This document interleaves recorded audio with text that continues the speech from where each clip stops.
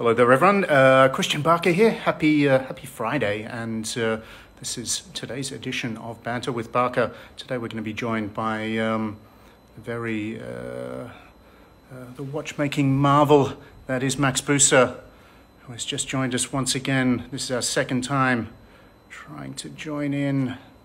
Let's hope it works. Okay, fingers crossed that Max will be hooking up with us now. Waiting on the connect. Thank you for joining us once again, Zena.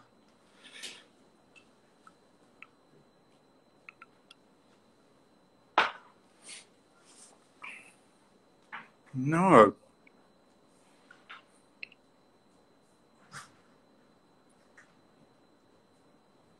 All right, Max, hold on. Let me, um, I'm going to try once again inviting you.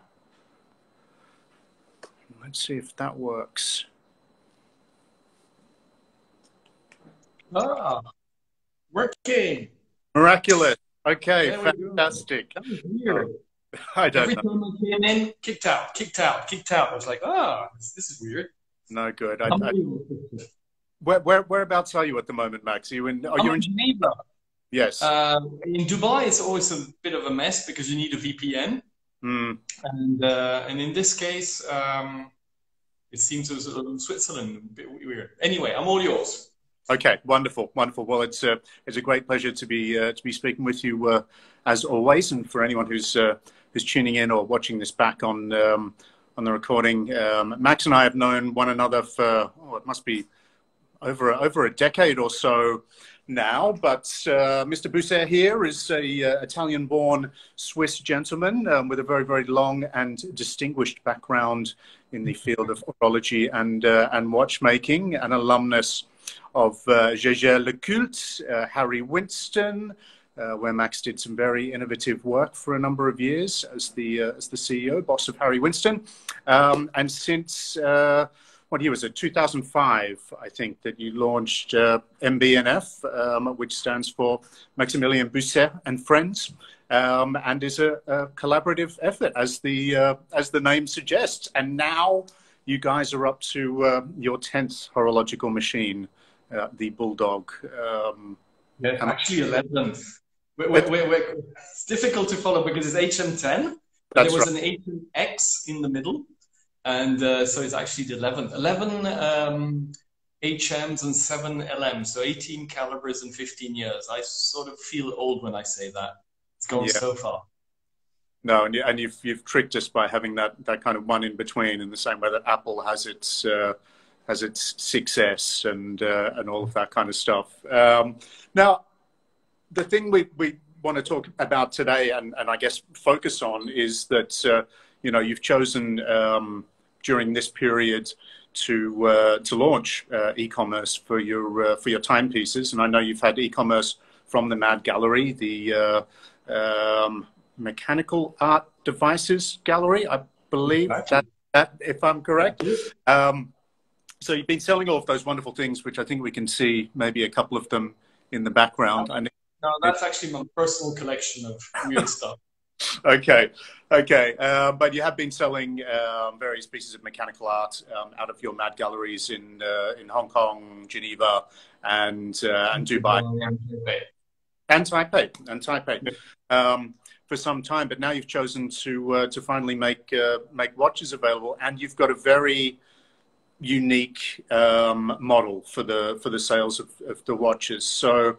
I guess question number one would be why have you decided to uh, begin selling your timepieces uh, online? And, and number two, if you could perhaps explain this uh, this unique model that you've uh, that you've adopted and, and why you've done it that way.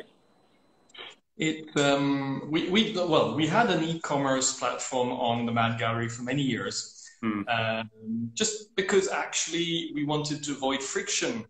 I think at some point as a brand, um, you you want to give the experience to your your customers, but you also have to make their life easier.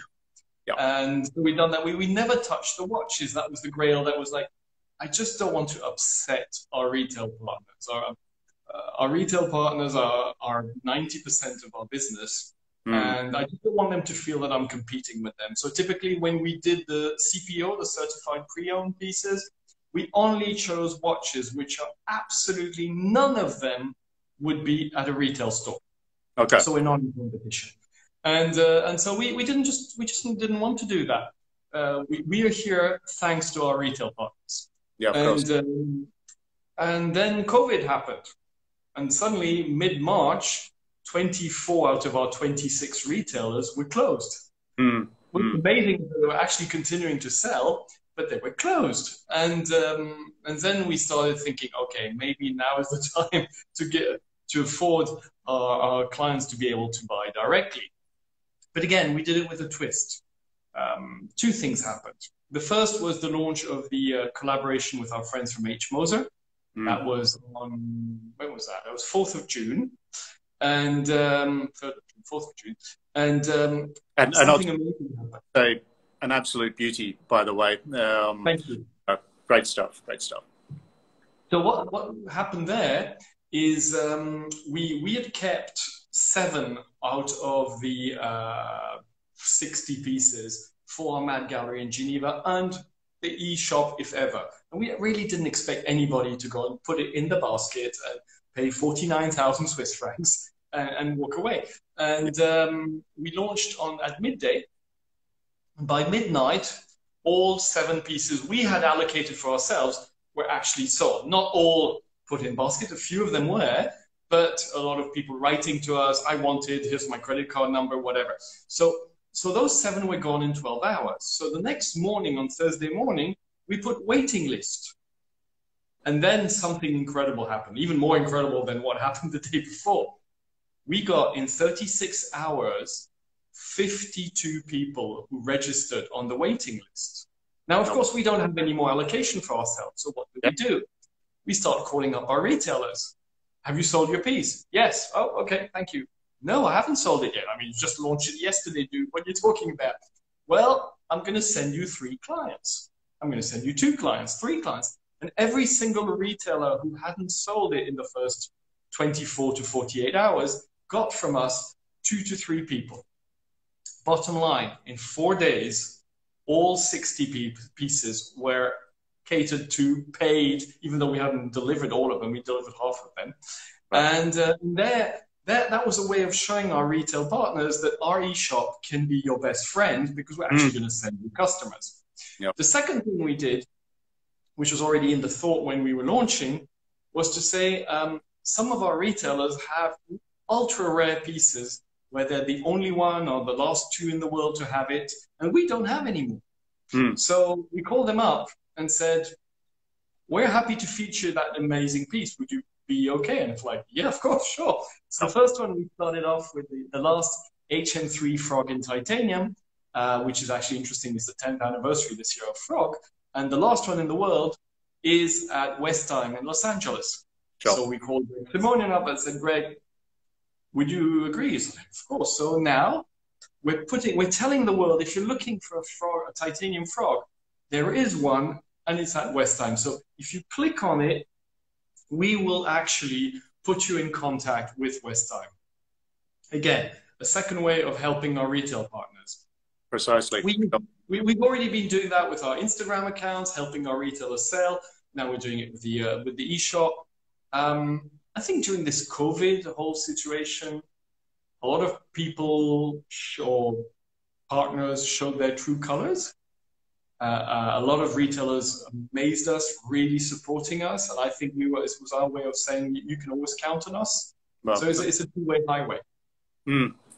Amazing. Well, in, incredibly successful. You, have you, adopted the Supreme model, and uh, and everything's sold out before you've even got it. Now that's. Uh... I mean, I would love to say it happens often, but it was actually the very first time, and uh, we would love it to happen. Uh, I, I won't lie in saying that we are we have been thinking since last summer that it's something we have to do. We've always been producing less than what we thought the market would take, mm. but we give time to the market. I mean, what we do is special. You need to try it on. You need to look at it. You can't just have a photo and say, "Oh, here, here's a hundred brand immediately." That doesn't that doesn't seem right. But um, the Moser collaboration told us, well, actually, people are okay with that. So um, you're going to see a launch we're going to do in October, uh, which is the second of our 15th anniversary pieces. The first was the collaboration with Moser. This is not a collaboration, and uh, we will um, we will basically um, try to achieve the same sort of thing. So we're producing much much less than what we should. Yeah. We're actually crafting the first year only 20 pieces. Mm-hmm. And uh, and when it goes online, well, I hope everybody will be able to sell. And if they don't, we'll we'll have that waiting list and we'll send them people. I mean, it's it's it's remarkable how far um, you know luxury e-commerce in all of its uh, in all of its areas has has really come over the last um, really just the last decade. You know, if, if, if you think back short space of time ago, um, you know, people were saying no one's going to spend five thousand dollars on on something online, and there was particular um, skepticism amongst watch companies. And I think you know um, this period. I'm, I'm, reading a lot of reports that uh, that many watch companies have, have really suffered because they had no um, e-commerce outlet, even for for far more uh, affordable, accessible pieces than, than, than you are making. And, uh, and, you know, the last three months, they've, they've really been hit because all of their, all of their dealers have shut down, all of their own uh, retail outlets have shut down, and uh, there's just been nowhere to buy their stuff apart from on the on the second hand market. So uh, yeah, it's it's it's amazing how how things have kind of uh, have changed. But as you say, you know, your your watches are they're not they're not a mere um, five thousand dollar purchase that, that you can easily take a risk on that sort of thing. It's uh, it's you know it's a or fifty or hundred or two hundred. They're pieces which are very rare. Mm. So if you're going to buy a Rolex, uh, a Patek, an RM, I feel like saying even though RM is very high end and very exclusive, they still do 5,000 pieces a year. And everybody knows what an RM looks like. And in hmm. that social environment, the clients, a lot of their friends already have one. So they've already tried it on, etc. Sure. We craft 200 pieces a year, uh, and not 200 of the same piece, yeah. of six different calibers. And you've got horological machines and legacy machines. And, and if we craft 15 to 20 of the same model a year, that's a lot. So, yeah, except maybe in Singapore, where there is a, a big concentration of MB&F fans, um, yeah. it's very difficult to see one on somebody's wrist. And hmm. therefore, mm. it's very difficult to just click put in basket on something you've never tried on. But mm. I, I, just follow up on your thought. I think we, the watch industry, have been um, have been very arrogant mm. in not offering a um, an e-commerce. While we thought we were actually uh, caring for the customer and not doing something as vulgar as an e-shop, um, we were actually being arrogant because we were making a customer's life difficult. Yeah. Now, if I'm living in Ohio mm. and I want to buy, I don't know, even a, a, a, a watch which is pretty much well known, uh, maybe I don't have a lot of choice. So what do I have to do? I have to go and take a plane, go to yep. a big city wherever. Um, then I have to take a hotel. Then I have to take a cab to get to the store and be there at 10 o'clock, not at 9. No, no, no, you can't come at 9. You have to come at 10. And yep. then we arrive at 10.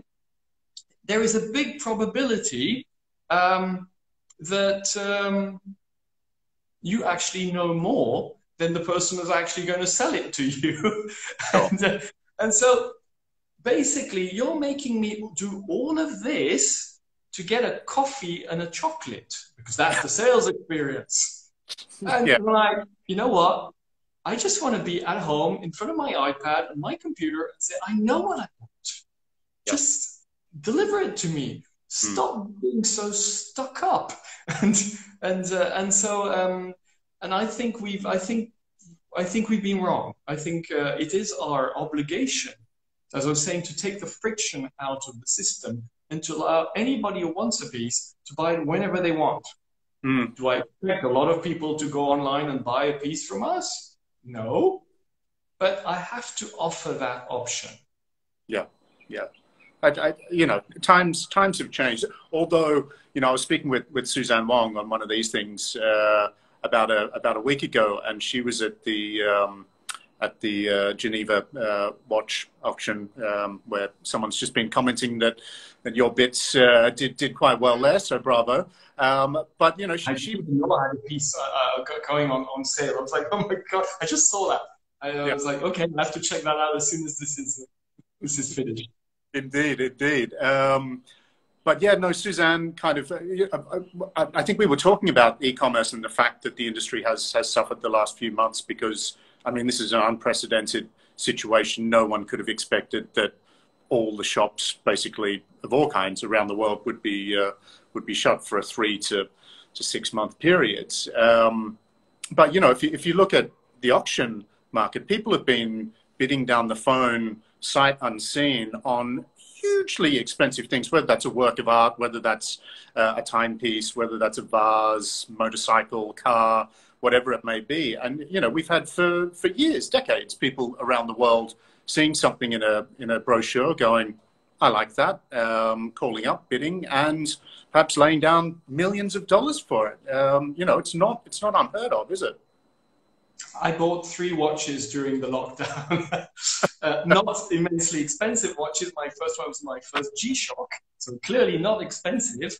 But um, I also bought a 1968 uh, Omega Chronostop, which was really cool. And I bought the 1972 Zenith um, Future Time Command, which is probably one of the coolest 70s watches, which is completely under the radar. And um, and so, yes, I was at my in front of my computer and I was buying.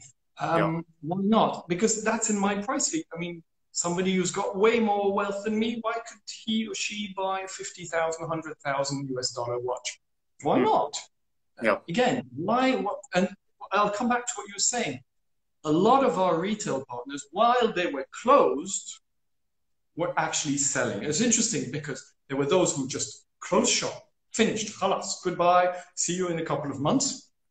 And there were those who closed and continued calling us up, I need this, I need that. I'm like, what? When we sent our team back home on the 17th of March, finished, it's closed, the lockdown, I thought it was finished. Well, suddenly we could start getting orders coming in. I, I need this, I need that. I'm like, really? Yeah, I sold it. I mean, but you're closed. I don't need to be open to sell. Uh-huh. And um, and so and so slowly, slowly, we brought our watchmakers back in little groups. Uh, that was in March and April, and started assembling movements again. And it was interesting to see that the retailers who did very well during this lockdown were retail partners who actually have real relationships. Mm. Yeah. While those who were waiting for the tourists to come in, or because they've got really great brands, or whoever XYZ Lambda was going to come in, they was more difficult for them. And you saw actually what was interesting is that you may not need that physical presence that much and pay that insane rent. Now I'm starting to think, wow, this is interesting. And I almost remember I was talking with um, actually with the uh, the managers of the Hourglass uh, a year back because every time I came to see them, they were all the time on their phone. Mm-hmm. Like, yeah, like, what are you doing, dude? I'm, I'm, I'm selling watches. And, yeah. and, uh, and so I asked them, uh, this was last year, what percentage of, uh, of timepieces do you actually sell to somebody walking into the store compared to on your phone? Mm. And do you know what they answered? They all told me 70 to 80% is not on this phone. Mm. Amazing. So I'm not saying that brick and mortar is not necessary, but mm. I'm saying that we need a seamless concept and it's okay to do e-commerce and it's okay to sell on instagram and it's okay to sell on whatsapp. Um, i saw in dubai a business which opened i didn't even know it existed whatsapp business. Whatsapp has got a whatsapp business line. So in typically in in, um, in dubai if you want to buy aesop you know the australian uh, cosmetics brand uh, as all the stores were closed you didn't there was of course the e-shop but there was you could actually send a whatsapp to a number and they would start talking to you and then they would send you a link to pay like a paypal link by whatsapp yep. And why not? Of course, we're talking of a $50 thing, but why not offer that? Um, who are we to say we're going to make your life difficult? Indeed, indeed.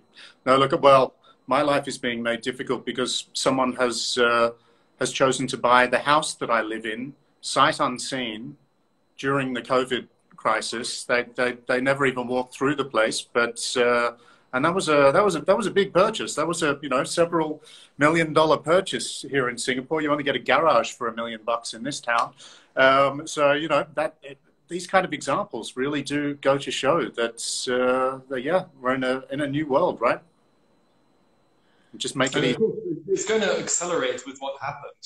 Hmm. Um, I was hearing numbers here in Switzerland yesterday on the news that uh, two billion dollars of merchandise had been transacted over the, the whatever last two months in uh, in Switzerland, and it seemed to be a very big amount. So I have no idea if it's it's uh, it didn't unfortunately give us a percentage, but they were saying this is an enormous increase of transactions in Switzerland on on the net. Mm. And will people go back to stores? Well, of course they'll go back to stores if they have a reason to go back to stores. Yeah.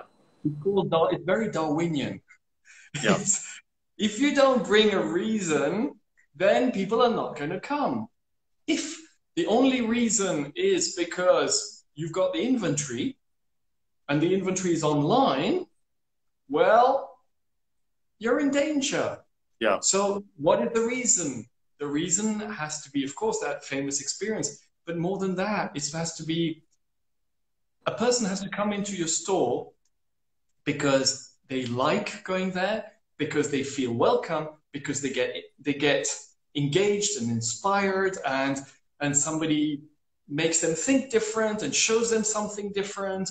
And not only I have the same stuff as everybody else.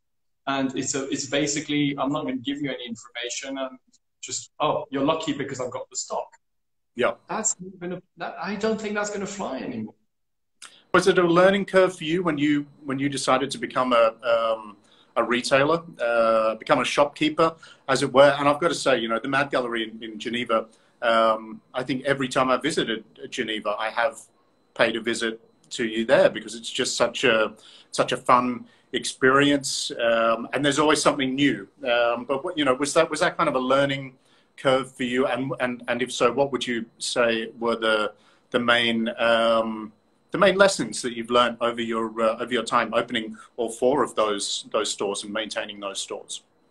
Well, um, first thing is I got way more empathy for my retail partners. Uh, uh, you know, 30 years ago in the watch industry, it was very, it was a, it was, it was a two, it was a two totally different universe. There was a brand, mm. doing the R&D and the engineering and the production and crafting the piece. And then the brand would give it to the retailer who would do the sales. It was completely different. Virtually no brand 30 years ago had a boutique. And so at Jaeger LeCoultre, um, when I started, was no, that was it. So we had mm. no idea. And we were, they were always, both of us, the retailers and the brands, were bitching that, oh, he doesn't understand what I'm trying to do. And the retailer would say, he's not understanding the difficulty of my life. And uh, so I have very little experience in retailing. Harry Winston, we had a few boutiques, but they didn't want to sell the watches anyway. So, so I had an issue that my own boutiques didn't want to actually sell my, my product um, because we are a jewelry brand. And, um, and so uh, when I started MB&F, I, I couldn't have done this without my retail partners. And of course, you but you still say, "Oh, I would have done it that way. I would have done it this way." And so when I opened the Mad Gallery, I really infused in it the whole treat people the way you want to be treated. I wanted to give them that experience that I would have liked to have in a store, and that's what we've done. And then you realize that customers are not always easy because we have a very romantic uh, perception that um, customers are exactly like us, the creators. Right. And the, and the retail partners, they just don't get it. You know, you've got the you've got the customer who's passionate and the brand who's passionate, and the middle, the retailer, he's not giving the passion. Well, all customers are not passionate. All customers are not easy. Um, and you realize that um, yes, we did we do our best, but it's not easy because a lot of people may take advantage of you. They, they, they lead you on. They make you believe stuff. And, um, and then you realize that, ah, oh, it is not that easy. And so I've got much more empathy and much more respect for my retail partners even than before. And that's what I'm telling you. Even when I did the e-shop, I wanted to be there to support them.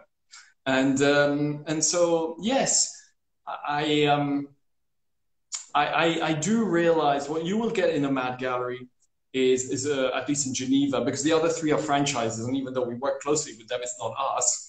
Hmm. Um, you, you, get in Geneva, uh, I think you get a great welcome. You get somebody, um, typically in, in, in, Geneva, nobody's on commission. Mm. Yeah. Economically, it makes no sense, I'll tell you honestly. Okay. A salesperson needs to be put on commission. It, it's very important. But I don't do that. I don't do that because I'm saying this you're coming to my house. Mm. I'm not here to sell you something. I want you to enjoy the experience. And if you buy something, it's okay. But I can do that because I've got the revenue of MB&F. Yeah. And I just don't depend on if I just had that mad gallery. Yeah, of course I have to sell stuff. And so yeah. when you come, and everybody's telling me that, everybody's so laid back in the Geneva Mad Gallery. We don't feel any pressure to buy anything. And, and people come in just saying, oh, we're just coming in to have a local stay, half an hour and an hour. And we love that. Yeah. But if you're speaking for half an hour, an hour to somebody and three other people are coming in and you don't have the time to cater to them, well, you're not doing a good business decision.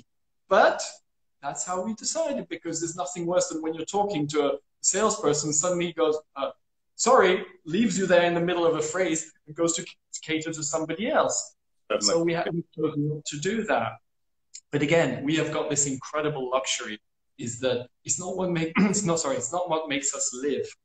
It's it's it's our it's our way of uh, of just welcoming people and telling them the story and and if they buy something, we're happy. But that's not the point. Mm, mm.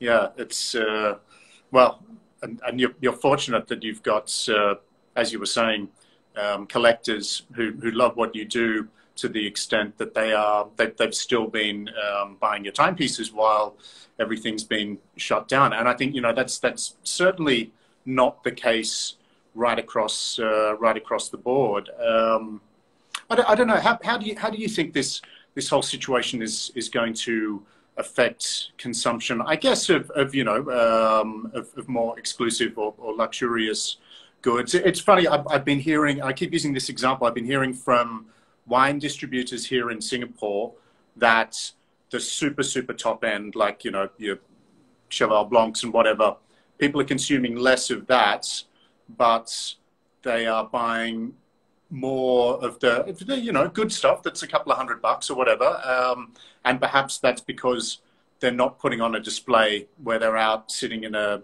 in a restaurant or they're or they're not having people over and, and needing to impress people with with sort of status symbol um, symbol goods. But then I read I read an article from a newspaper in Australia this morning that said people are actually buying more expensive wines because at home they want to pamper that. You know, I suppose they're, they're not going out to restaurants and they're not spending their money the, any other way. So they're thinking, stuff it. I'll get, you know, I'll get the, the $200 bottle of wine when I would normally drink the, the $50 uh, bottle of wine. I, I don't know. How, how do you see this whole situation that we're currently facing and, and where it's going, um, you know, affecting the business that you're in and that other uh, loosely luxury good providers are, uh, are in? Mm. It's a good point. Um, again, I, I, I, have no idea. I can only tell you what's happened to us. Mm.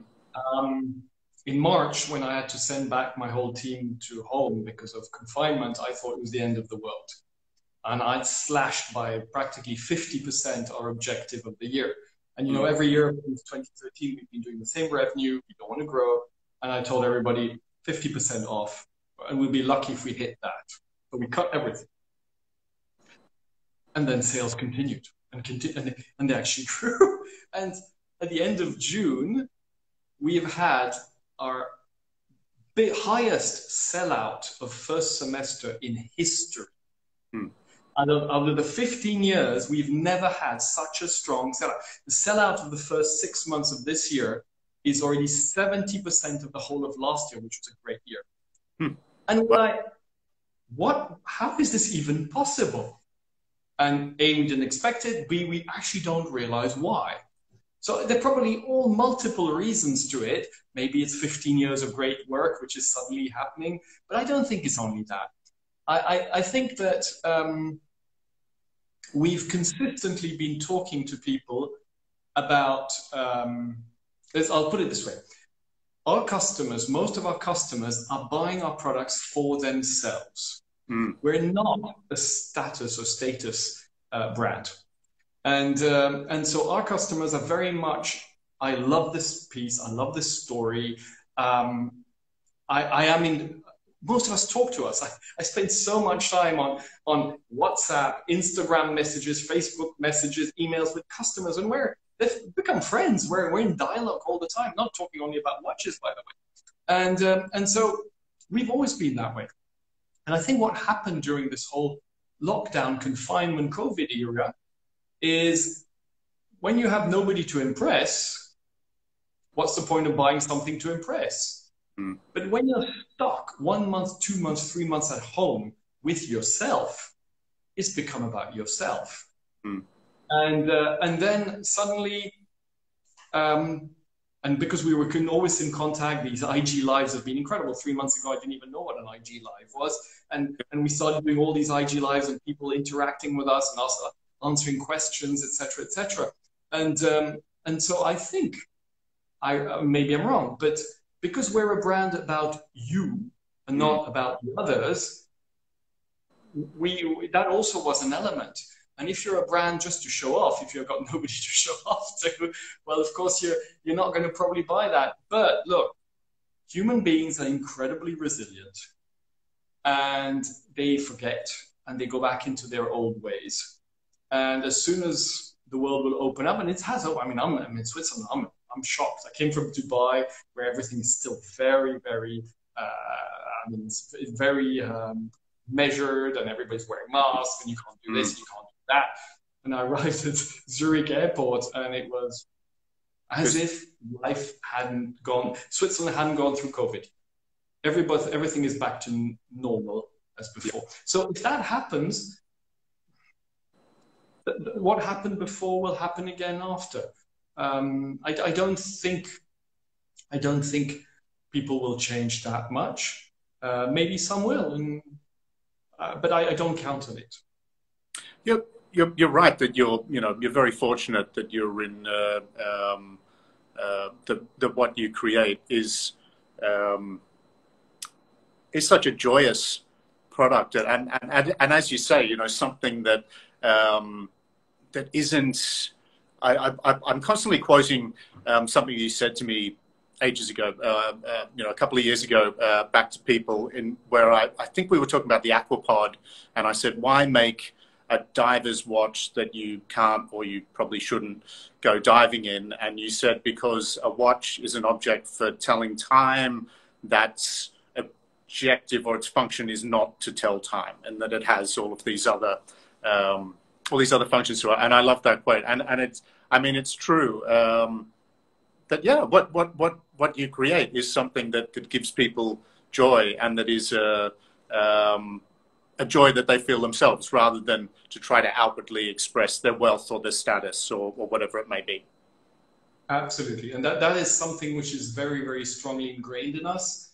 And mm. it's interesting because when we create a product, we are not interested at all, and I'll say we, but actually it's I in this case, in uh, actually the market or what people like or want, because we would never create what we've created if we are always looking at what do people want. People yeah. don't want a 52 millimeter diving watch you can't dive with. people don't want a robot which gives time. People yeah. don't want a watch which looks like a spaceship nobody, I mean, there's no market study to tell you that there's any market from that. Um, but we do it because we love it and because, and that, that's, that's my definition of art is we create it for ourselves. Then afterwards, luckily there's the internet and social media and all that, which allows us to interact with people to tell them our story. But we never actually create something thinking, oh yes, they will like that. never, never at all. Yeah. Yeah, I, well, I think I think it's the same thing as at the moment. Um, you know, BMW is probably struggling to sell a five series, and and you know, uh, your more sort of quotidian everyday Mercedes or, or you know whatever sedan, um, a lot of those will be sitting on the lot. But the moment a beautiful, um, you know, lime green Lamborghini Miura comes onto the market, which is not going to be someone's everyday car, and they're not going to buy it to drive to and from work, which they, they probably don't if they're like me, that you know they're not leaving their house and they're not not commuting at the moment, but they will buy it because it's a joy and it's something that's going to give them immense pleasure. And it's probably not their only car. You know, they've probably got something that satisfies the simple need. And and if you take that back to watches, you know, we've got so many things that, as you say, tell us the time. We don't need it for telling the time. And if I want to time the amount of time it's going to take me to cook some pasta, I'll say, Siri, time 11 minutes. She's probably going to do that now. Stop. Don't do that, Siri. Um, but yeah, you know, it's, that's it's exactly it. That's exactly it.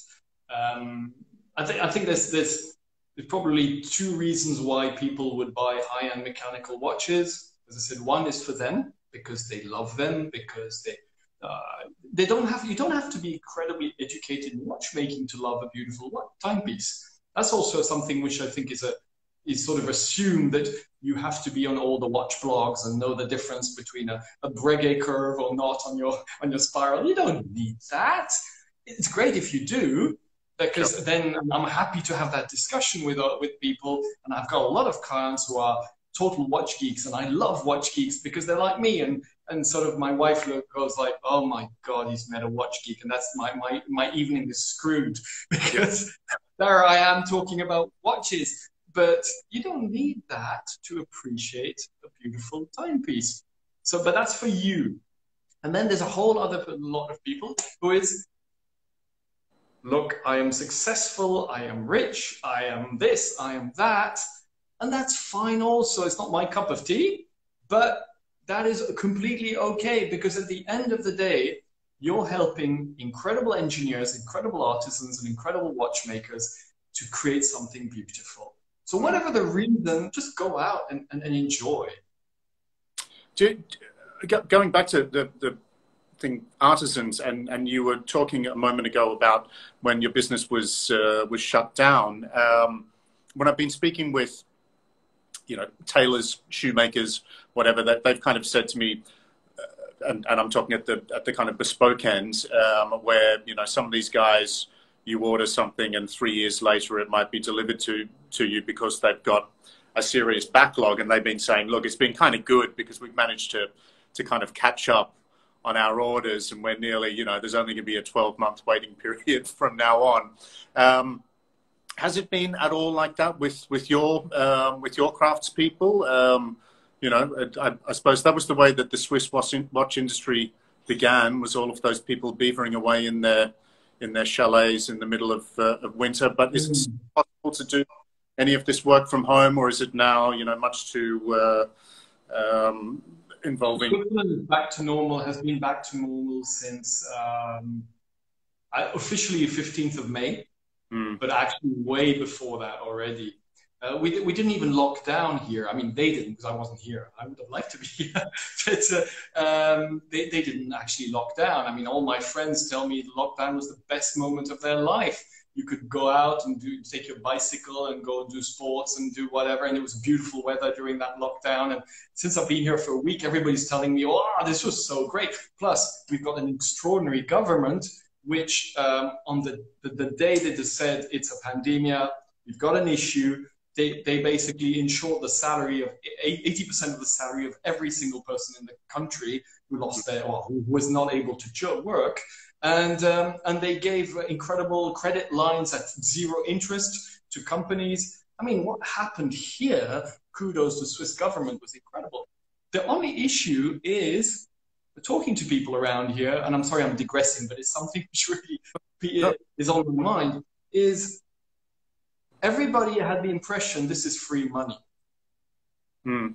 When I was working in Singapore, it's like, oh, great, I'm paid to stay at home and spend time with my family and go out and and my, some friends were like i was on my bicycle every day it was so cool and i was like yeah um, somebody's going to have to pay for this guys yeah. we're talking 60 billion swiss francs i think the government dished out um, who's going to pay for this your taxes are going to have to go up what if something's going to i mean we have been printing like everybody else printing money but mm. this and I, I thought it's very annoying that most people who've had help from the government uh, of like, oh, it's normal. I'm like, well, no, it's not normal. There's going to be a price to this. Yeah. So enjoy it, be grateful, but there is going to be a price to this.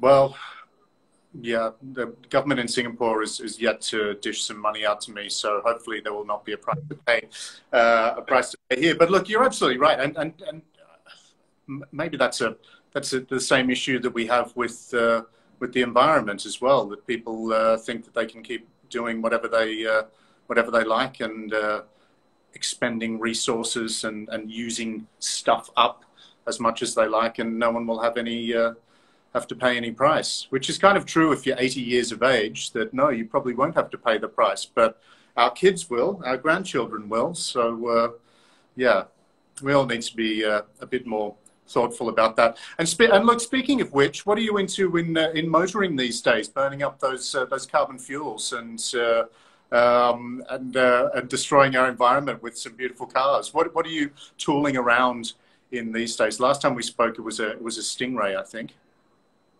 Yeah, well, I, I don't drive it much. That uh, that exactly. I, bought that Stingray. It's a 1965 Stingray. Um, interestingly enough, not actually to drive it, even though it is fun to drive, but in a, in a way of driving a, a classic car, because somebody who hasn't driven a classic car is, again, you've got a romantic idea of what it is, and then you've actually got the fact of driving it. Okay. Um, and, um, and I always remember, I'm digressing again, I always wanted to buy an Austin Healey frog eye. I love frog eyes. I think they're so cool. I mean, the, the idea of them, the design of them, this little frog eye uh, look. And one day, um, the, the, the, the, famous garage I bought the, the Stingray from, I was telling him about that. He said, hmm, Have you driven one? I said, No. I said, He said, Come here. This is one of my clients. I'll just take you around. You can drive it for a few miles. they drove it for a few miles. They give it back to him as I'm never going to buy this car. It, it, was so scary, so incredibly scary. First of all, of course, we don't have seat belts. It's yeah. made out of so you're you're driving around, and because the, you don't have a boot either, when you when you um, when you brake, the the uh, the seats go just go like this, and so what happens is that when you're braking, your whole seat goes like this, and and you've got 17 horsepower. And so when you start accelerating to get onto the road and you've got these cars speeding ahead, nothing happens. There's a lot of noise and and nothing happens. And you see these 40 ton lorries arriving and you're like, fuck. and, you're, and you're like, okay, I love the idea, yeah. but I don't think I'm going to drive it. So the Stingray was a bit of that. So I'm not polluting the environment because I think I drive it like twice a year if everything goes well. But I love the idea that somebody created this incredible piece at that era. I love to look at it. It's so from every single angle. If you're a creator, a designer, and you look at that piece, you can not like it, but you have to admire the person who, who designed it. And um, it comes back to an era where engineers were artists. Yeah. There were no finance people to tell them what they could and not do. There were no um, there were no marketing people to tell them, oh my gosh, this there is no market for this, so we all have to make the same car as everybody else. And um, and so and I, am talking of a Stingray because that's what I could afford. I mean, there are things I lost on which I, I definitely cannot afford. Uh, and um, and so yeah, typically, um, so my, my one of my, my real car, which I, I, was actually driving yesterday, I don't actually speak about it, but as Michael Tay put my car in the Hourglass film, I'm going to talk about it. It's my Wiesmann MF4S. Um, I used to drive, uh, in my Harry Winston days, I had a TVR. Yep. And, uh, and a TVR, for anybody who's a petrol head, knows that It's an insanely dangerous car. It's you, you're supposedly repairing it all the time. But mine never had. For nine years, I never had to repair it, but it is an incredibly dangerous car. And um, and when I sold it because they'd gone bankrupt, and I thought mm, if I need any components here, I'm, I'm, it's going to be really uh, complicated. And I bought myself a Wiesmann.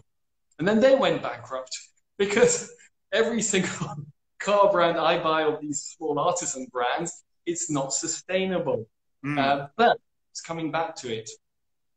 It's so beautiful. Uh, I brought it to the to a service it, and the guys were in this hypercar garage, and every mechanic was around it going, "Wow, this, no. is, this is worth a fraction of the price of all the cars which were there."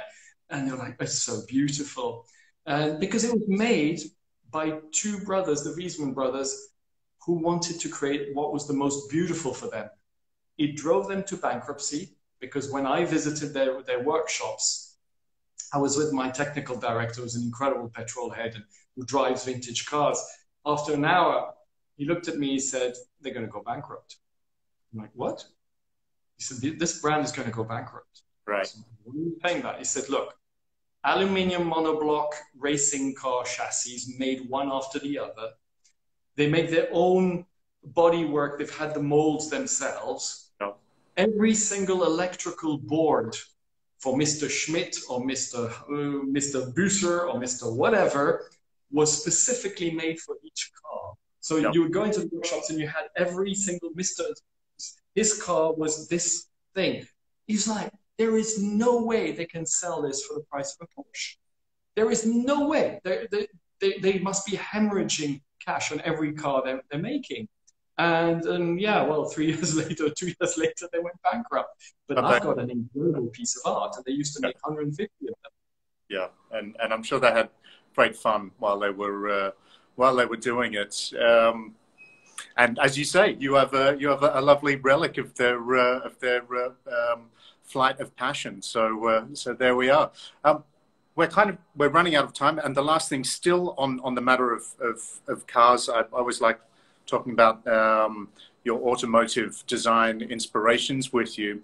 Uh, and it strikes me that when we have spoken about that before, you've, you've kind of expressed a love for a lot of very angular, um, angular automobiles, like, like, you know, the, the old 80s Lotus and, uh, you know, the original um, Volkswagen Golf and so forth, which are very kind of jagged, straight lines, um, which we haven't seen terribly much of in, in any of your uh, any of your creations, which are always quite sort of voluptuous and curvaceous and and more organic, uh, for want of a better word, um, sort of shape. So, do you ever? Yeah, someone's just said wedge-tastic. Do you ever?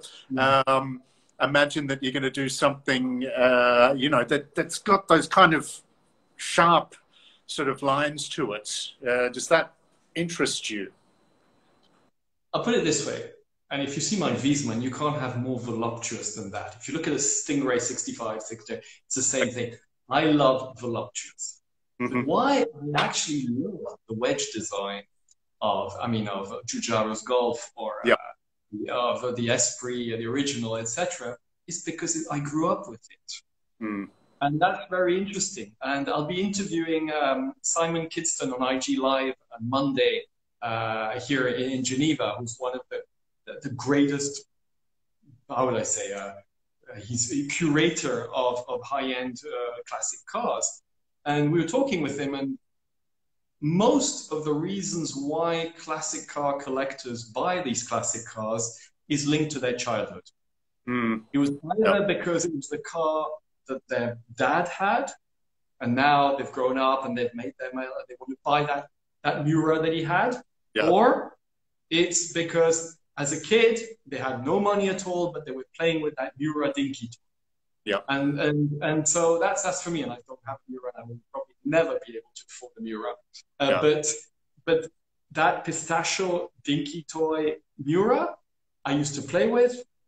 Hence, it comes back to me. But when I was growing up, when I was 18 and I had my little 50 horsepower Opel Corsa, which was a terrible car. Um, my wealthy friends had a Golf GTI 1.8 trophy. Uh-huh. Emerald green, metallized green. And I was like, oh my God, that car. And when, when this friend would actually allow me to, to drive it, it was like, wow, with the, with the, with the golf uh, ball, uh, gear stick, and etc. So again, this is unfortunately 35 years ago. Um, I want that car. Yeah. I'm 53. I want that trophy 1.8 Golf. It doesn't make yeah. any sense. Yeah. Like yesterday, I was debating because somebody offered me a, a, Renault 5 Turbo, which I've been lusting over for years. Yes. You know, yes. The, little Renault 5, which was crazy with the rally yeah. car where they put the engine at the back. Yeah. This is a 1.4 liter engine with 160 horsepower, but it was lethal. Lethal because it's like a TVR, it's impossible to drive. Um, but when I was growing up, that R5 turbo with Jean Ragnotti driving uh, in Monte Carlo was what made me happy. I was like, well, so now I want it. Any normal human being would look at me and go, are you frigging crazy? Why the hell would you buy that, that car? But it was what I was growing up with. Yeah. Oh. Well, I think um, Instagram is going to cut us off. My dog seems to be going mad as well. Someone was requesting to see the dog, but I don't think I can control her, um, little Beatrix. But uh, but Max, it's been a great pleasure chatting with you uh, as always. Just as we're finishing, if anyone who's listening has any questions for Mr. Büsser or for myself that, that either of us can answer. I saw a good question. I saw a good question. Am I going to create a more affordable piece? Oh, okay. It's been my goal for 15 years. I mean, God, when I created MB&F, I'd already created a second brand which was going to be more affordable. I, I didn't find the means to launch it. Three years ago, I was going to launch a second brand which was going to be more affordable, and I realized I, between MB&F and my family, I really don't have enough time for both of them. So how am I going to do this? I'm still working on it. Give me some time. It probably won't be a brand. I don't know, but I have ideas to make cool products at I'm not saying $250, but let's say $2,500. Yeah. I'm still working on it. Um, maybe it'll never come out, but one day I hope it does. Well, when you do, sign me up. Um, I'm there. I'm there. Absolutely. Absolutely. I'll let someone else um, uh, buy all of your remaining stock of the uh, of the HM10. Um, but it sounds like you don't need terribly much help. But uh, but look, Max, it's been a great great pleasure. It's always a always a good fun um, and a pleasure chatting with you. And I I look forward to in not too long, you know, um, having a refreshing beverage with you. Uh, somewhere. This is only water, I should say. Yeah, it's a very cool cup, very cool mug you've got there. So there you go. Cheers to everybody. Great talking. Thanks, Christian. Speak to you guys very soon. A yep. bientôt. Thanks to everyone Cheers. who joined today. Looking forward to um, you next time on Banter with Barker. Ciao. See you, Max. Take care. Thank you.